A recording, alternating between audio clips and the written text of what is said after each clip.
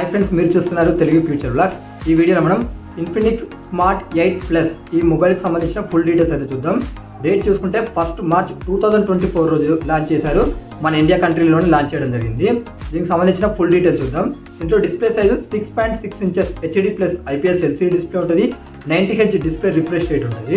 దీంట్లో MediaTek Helio G thirty six ప్రాసెసర్ని use చేయడం జరిగింది. ర్యామ్ చూసుకున్నట్లయితే ఫోర్ జీబీ ర్యామ్ ఉంటుంది. ఇంటర్నల్ స్టోరేజ్ చూసుకున్నట్లయితే వన్ ట్వంటీ ఎయిట్ జీబీ ఉంటుంది. మైక్రో ఎస్డీ కార్డ్ స్లాట్స్ సప్లైడ్గా కూడా మీరు పెట్టుకోవచ్చు అనమాట రెండు సిమ్స్ అలాగే మైక్రో ఎస్డీ కార్డ్ కూడా మీరు పెట్టుకోవచ్చు.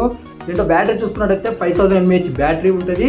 అలాగే టెన్ వాట్స్ ఛార్జింగ్ అయితే సపోర్ట్ చేస్తుంది. ఇక్కడ ఎయిటీన్ వాట్స్ ఇస్తే కొద్దిగా బెటర్ ఉంటుండే. దీంట్లో కెమెరా సెటప్ చూసుకున్నట్టయితే ఫ్రంట్ సైడ్ వచ్చేసి ఇది ఎయిట్ మెగా పిక్సెల్ ఉంటుంది. బ్యాక్ సైడ్ వచ్చేసి డ్యూయల్ కెమెరా సెటప్ ఉంటుంది. Fifty mega pixel main camera ఉంటుంది. ఇంకోటి జీరో పాయింట్ త్రీ ఎంపీ అంటున్నారు ఏఐ లెన్స్ అసలు మనకు యాక్చువల్ మనకు ఫైవ్ మెగా పిక్సెల్ ఇస్తేనే సరిగా వర్క్ కాదు. Zero point three mega pixel అంటే అంటే బ్రాండ్స్ ఏం చేస్తాయంటే డ్యూయల్ కెమెరా సెటప్ తెచ్చామని ఓన్లీ వాళ్ళకు ఎన్ని ప్రమోషన్స్ గురించి చెప్పుకొని యూజ్ తప్పితే అంత మించి దీనివల్ల ఏం లాభం ఉండదు.